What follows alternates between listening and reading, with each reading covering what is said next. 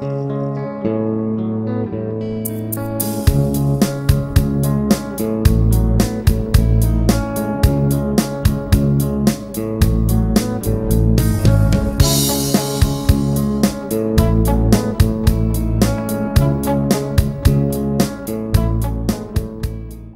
ahoy, ahoy, what up? Kevin Boothby here. Wanted to do a short series of videos on engineless sailing, uh, especially uh, uh, long distance cruising uh, when you don't have an inboard engine and where you'll be presented with a lot of situations uh, which will be challenging uh, if you don't have, if you don't have inboard power. Um, and so what I want to do is present a, a series of set pieces, uh, basically situations where you would normally use your engine. Um, and I want to show you how you can do it uh, without an engine and do it safely and uh, without scaring yourself and everyone else half to death. Now the boat that I currently sail and live on and own uh, is 31 feet on deck. Um, she's gaff rigged, she's long keeled, and has no engine. Never has had an engine. Um, and in the time that I've owned her, I've sailed her across the Pacific, in and out of islands and atolls, through the current swept Torres Strait, uh, down around the bottom of Africa, the south of Africa. And I've also done nine round trips between the East Coast and the Caribbean. Um, all that without an engine. So it's entirely possible to get almost anywhere you want to go without an engine. Um, now, one thing I've always had with this boat is a sculling oar, uh, which in, in, my case is a 14-foot oar, uh, which is mounted off the stern, and that can be used uh, to maneuver the boat in close quarters, provided there's not too much wind.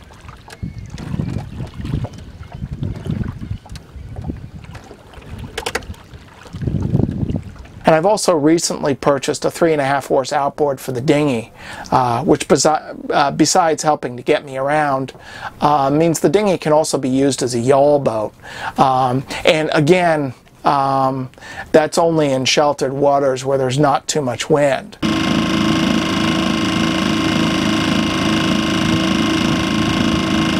Um, otherwise, I'm sailing, which is more, much, which is greater than 99% of the time. So I hope you'll find these videos informative and uh, I hope they'll inspire you to hone your sailing skills uh, to the point where you know that you can you can handle the situation uh, even if your engine quits at the wrong time. Um, and this will be, be a big confidence boost for you. Um, and, also uh, you'll probably uh, earn a lot more respect from your crew that way if you sail with a crew uh, instead of having to get towed in, paying money, uh, wearing the bag of shame over your head. Uh, you know, eh, your engine quits and you can simply say to your crew, that's no problem. We'll sail in, drop anchor off the dock and warp her into the slip. And uh, they will be quite impressed.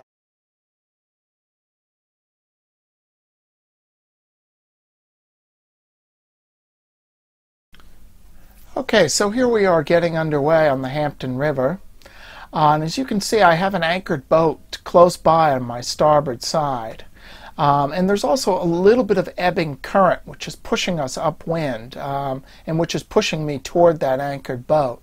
So I'm going to want to come around onto the other tack, starboard tack. As you can see, I'm doing that by pulling on the anchor, because the anchor is uh, off on my port side. Um, and I'm going to want to take a short tack short toward the shore here, uh, just so I can be sure that I clear that other boat once I get sailing. Now as you can see, however, I don't have too much room here to sail on starboard tack uh, because uh, it will show up toward that shore, which I'm pointing toward right now. Um, so it's going to have to be a quick quick tack, and that's also further complicated by the fact that the uh, the winds in around here are rather light and fluky because the winds uh, we have a lot of as you can see we have a lot of buildings and land around which is uh, which is deflecting and, and, causing turbulent wind. Okay, so we're anchors away. The anchor's up, and uh, we're starting to sail very slowly on starboard tack. As you can see, those light and fluky wind. You can see the mainsail is uh, uh, it's setting and then and the wind will suddenly shift direction and it'll flop right as it's doing now. Oh, we got a little bit of a puff there. So, and then the boat is just very slowly beginning to move. And uh, it's looking like we're far enough away from the other boat that I can bring her around on the other tack. Uh, so you can see I got the helm hard now, and she's slowly, slowly starting to come around. Uh, however, because she has so little way and these winds are fluky, um, I'm going to use the sculling oar to help get her around, and I'm going to do that right about now. So the way you can get a boat to turn around uh, using the sculling oar uh, is simply to row with it um, as you would uh, uh normally with a with an oar. And since it's mounted off the stern, uh, th this will this will turn the boat right around. It'll turn her right on the proverbial dime. So as you can see, the boat is coming around nicely onto port tack. Uh, the boom is on the starboard side, and we got a little bit of wind.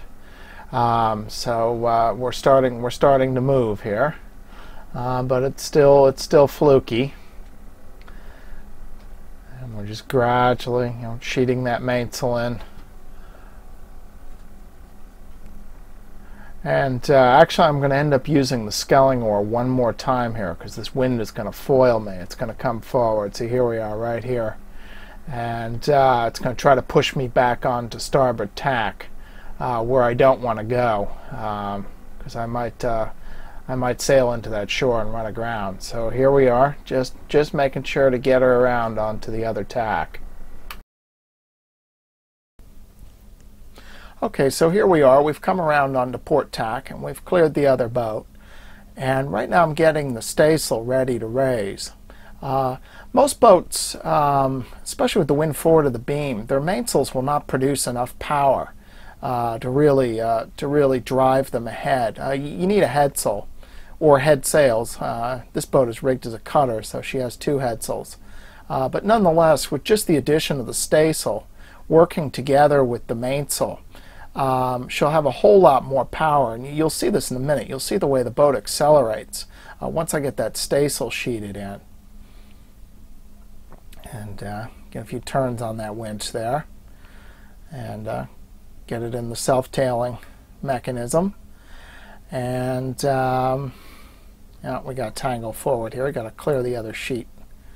Looks like it's tangled around the pin rail. Wave goodbye to the neighbors.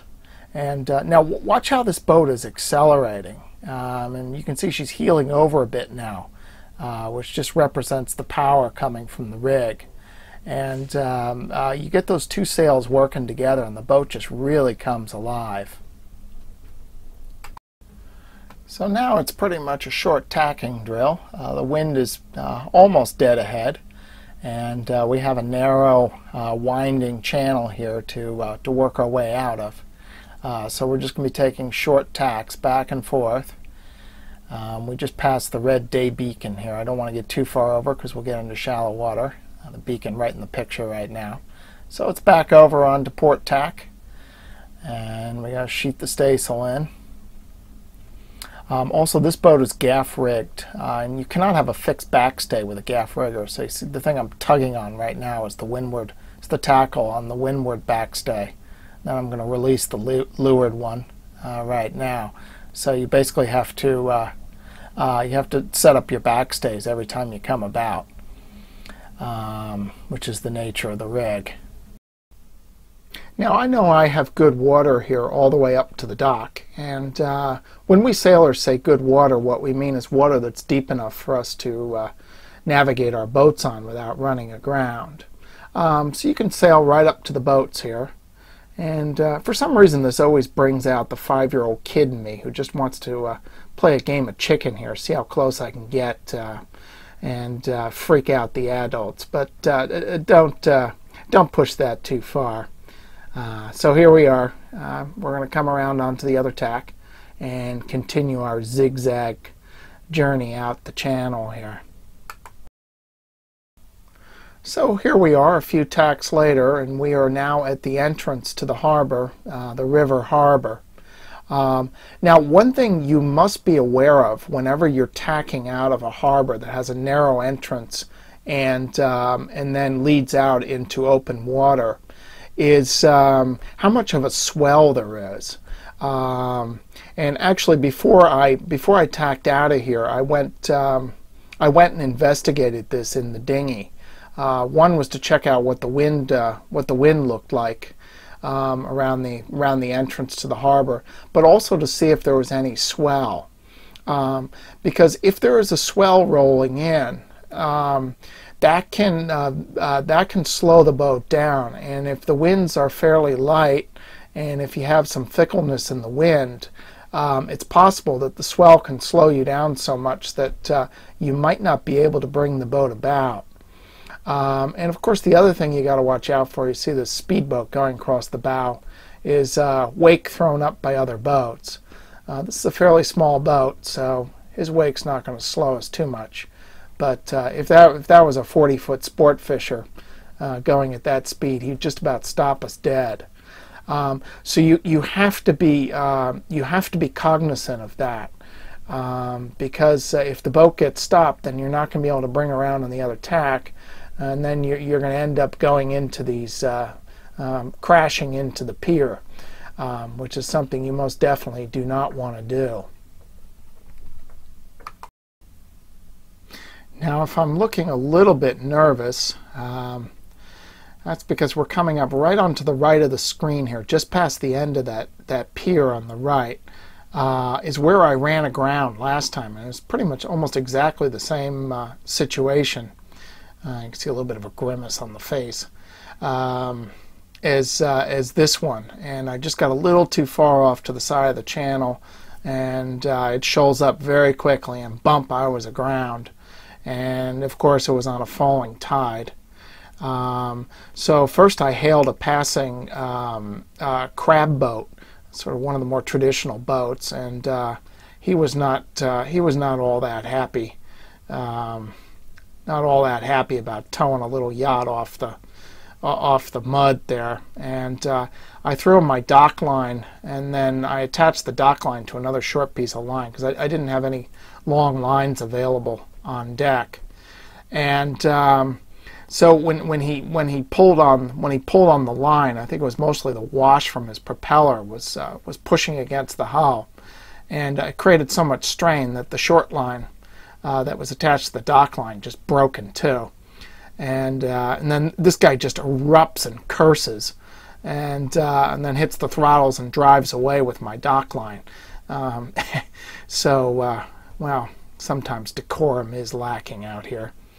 Uh, but anyway, um, after that, another another pleasure boater and a small power boat came by, and he managed to to pull me off no problem. Just just gave the throttles a little bit of juice there, and she came right off. Um, so anyway, th those things can happen, and no damage. Just um, it was a bit embarrassing and uh, feeling a little bruised from uh, from the verbal abuse, but uh, we made it. So uh, so all's well that ends well, as they say. So we're almost out here. That uh, that green marker just on the very right-hand side of the screen uh, marks the end of the narrow part of the channel. After that, we have wide and easy waters, and of course, always wave to the friendly, your other friendly sailors. And uh, so the job is almost done.